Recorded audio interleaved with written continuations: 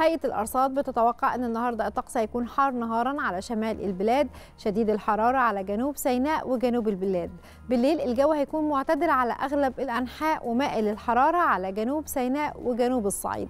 في نشاط رياح على مناطق متفرقة وفترات متقطعة على مناطق من جنوب سيناء وسلاسل جبال البحر الأحمر وشمال الصعيد وجنوب الصعيد. تفاصيل أكتر عن حالة الطقس معنا على التليفون دكتورة منار غانم عضو المركز الإعلامي بهيئة الأرصاد الجوية. صباح الخير يا دكتور. صباح الخير على حضرتك أستاذة دينا وصباح الخير على كل السادة المشاهدين. أهلا بك يا فندم. أهلا بحضرتك. لسه كنت بقول إن التغيرات المناخية اللي إحنا بنمر بيها في مصر دي مش في مصر ده العالم كله الخريطة الأرصاد الجوية بتاعتها كلها اتغيرت بشكل كبير جدا. لكن في البداية خليني أطمن من حضرتك دلوقتي عن حالة الطقس النهارده. طب إحنا الحمد لله طقس النهارده هيكون في انخفاض في قيم درجات الحرارة. يمكن إحنا حصل انكسار لحدة الموجة شديدة الحرارة. اللي أثرت علينا الأسبوع الماضي. حصل لها انكسار أمس وكمان متوقع استمرار الانخفاض اليوم. الانخفاض ده كان بمعدل من 3 إلى 5 درجات. نتيجة تأثر البلاد. وجود امتداد لمنخفض جوي في طبقات الجو العليا ده بيعمل بشكل كبير على وجود سحب منخفضة متوسطة بتحجب جزء من أشعة الشمس فبالتالي بتساعد على انخفاض قيم درجات الحرارة خلال فترات النهار. مم. كمان مصادر الكتل الهوائية نفسها اتغير أصبح كتل هوائية شمالية قادمة من جنوب أوروبا مرورا بالبحر المتوسط. الكتل دي أقل حرارة طبعا من الكتل الهوائية الصحراوية. طبعا. فبالتالي اليوم متوقع العظمى على القاهرة الكبرى ما بين 35 إلى 36 درجة مئوية وده يعتبر المعدل الطبيعي للوقت ده من السنة. الأجواء الصيفية الحارة فترة النهار في القاهرة الكبرى محافظات الوجه البحري. أقل طبعا حرارة في الأماكن الساحلية المطلة على البحر المتوسط سواحلنا الشمالية. أجواءها ما بين الحارة إلى المائلة للحرارة. هتبقى الأجواء شديدة الحرارة في محافظات الصعيد رغم طبعا أن قيم درجات الحرارة في محافظات الصعيد. انخفضت بشكل كبير عن الأيام الماضية. إحنا بنتكلم في محافظات الصعيد الأقصر وأسوان. عظمى فترة النهار ما بين 42 إلى 43 درجة مئوية فحصل فيها هي كمان انخفاض. فترة الليل أيضا مع الغياب التام لأشعة الشمس هيكون في مزيد من الانخفاض في قيم درجات الحرارة. صغرى فترة الليل ما بين 23 إلى 24 درجة مئوية.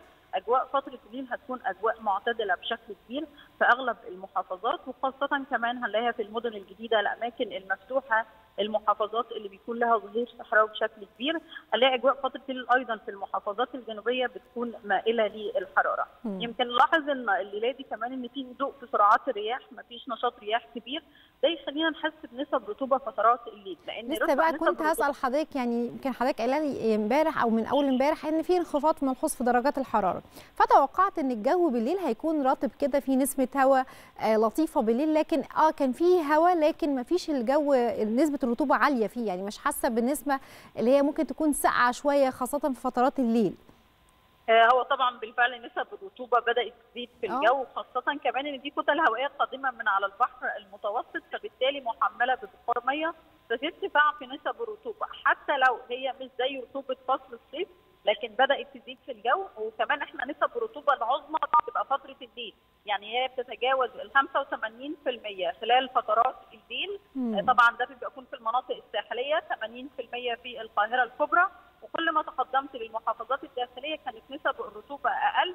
لكن طبعا نسبة الرطوبة العظمى بتبقى فترة الليل فعشان كده وجودها يخلينا نحس إن ما يعني قيم درجات الحرارة الصغرى ما انخفضتش بالشكل الكبير. بالظبط. بالفعل. أوه. إحنا بقى نأكد إن الانخفاض ده انخفاض كان مؤقت في قيم درجات الحرارة. مم. لأن من بكرة الثلاث هنبدأ ارتفاع آخر في قيم درجات الحرارة. كبداية الموجة شديده الحرارة هتبدأ تأثر علينا خلال الأيام اللي جاية. نرجع تاني الكتل الهوائية الصحراوية القادمة من صحراء شبه الجزيرة العربية تأثر علينا وكمان هيكون في امتداد لمرتفع جوي في طبقات الجو العليا. ذروة الموجة الجديدة دي إن شاء الله هتكون يوم الجمعة والسبت اللي جايين. يعني الارتفاع ده هيكون تدريجي. بكرة الثلاث عظمى على القاهرة الكبرى هتكون 38 درجة مئوية. مع نهايات الأسبوع تتجاوز 42 درجة مئوية عظمى yeah. على القاهرة الكبرى. oh. محافظات الصعيد هتتجاوز ال 47 درجة مئوية. ده في ذروه الموجة. mm. فبالتالي هنرجع تاني للأجواء شديدة الحرارة فترة النهار. مع وجود طبعا نسب رطوبه في الجو اللي إحنا أكدنا عليها اللي هتخلي إحساسنا بقيم درجات الحرارة أعلى. لأن أنا قيم درجات الحرارة اللي بقولها مع حضرتك هي قيمة درجة الحرارة المخصصة في الظل بالظبط لكن المحسوسه بتكون أعلى بشكل كبير. بالظبط والمحسوسه مم. تكون أعلى بشكل كبير خاصة ان زي إحنا بنأكد خلاص إحنا بنقترب من فصل الصيف تقريبا بيفصلنا عن بدايته حوالي أسبوع أو أكثر من أسبوع. فبالتالي هنلاقي امتداد منخفض الهند الموسمي مع ارتفاع في نسب الرطوبة فبالتالي لازم ناخد احتياطاتنا بقدر كبير لأن زي ما حضرتك بدأت في المداخلة في تغيرات مناخية. صح. بدأنا نشوف موجات طويلة بشكل كبير من موجات ارتفاع قيم درجات الحرارة. مم. إحنا كل أسبوع موجة بيفصلها يوم أو اثنين انخفاض في الحرارة. فعلا ما بنلحقش وما بتكونش بانخفاض كمان ملحوظ نقدر إن إحنا نحس بيه قوي لأن الرطوبة بقت عالية. لكن هل يا ترى إحنا ال- الموجة اللي حضرتك بتقولي عليها اللي هي مستمرة حتى الذروة بتاعتها يوم الجمعة والسبت القادمين مستمرة معانا بقى كم- كمان أيام العيد؟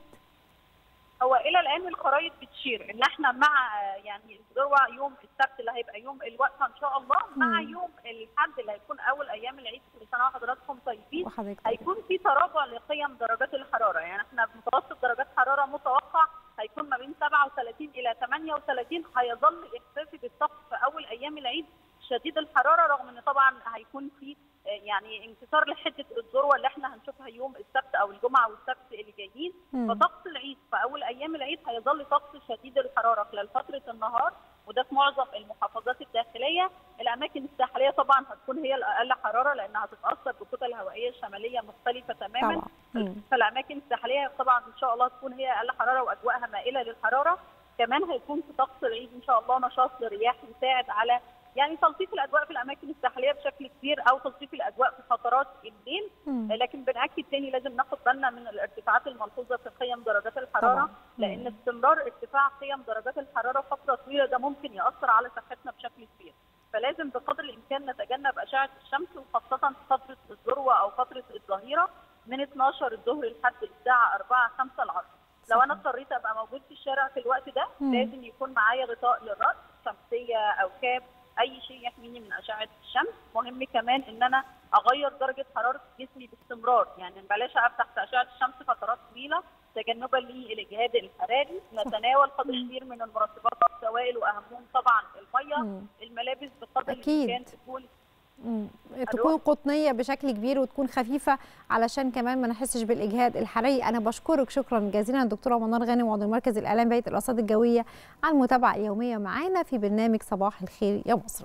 خلينا دلوقتي نستعرض مع حضراتكم درجات الحرارة المتوقعة النهارده وهنبدأها من القاهرة العظمى 36 الصغرى 23 العاصمة الإدارية 36 23 اسكندرية 31 22 العلمين الجديدة 30 22 مطروح 29 21 دمياط 31 25 بورسعيد 31 25 الإسماعيلية 37 22 السويس 36 23 العريش 32 23 كاترين 31 18 طابة 36 23 حلايب 36 28 شلاتين 39 28 شرم الشيخ 39 28 الغردقة 39 28 فيوم 37 23 بني سويف 37 23 الوادي الجديد 39 26 أسيوط 39 24 سوهاج 39 25 قنا 40 27 الأقصر 41 27 وأخيرا اسوان 42 28 حاولنا نطمن حضراتكم عن حالة الطقس. النهارده الجو هيظل معتدل الحراره لكن من بكرة بداية موجة حارة. ناخد بالنا من الساعات الظهيرة خاصة من الساعة 12 للساعة 4 زي ما دكتورة منار غانم قالت لنا. ونشرب بكميه كبيرة من السوائل ونتجنب التعرض المباشر للشمس بكرة بإذن الله أو من بداية بكرة حتى نهايات الأسبوع. هرجع مرة ثانية لمنى ومصطفى عشان نكمل معاكم فقره صباح الخير يا مصر. شكرا ليك يا دينا شكرا ليك. شكرا يا دينا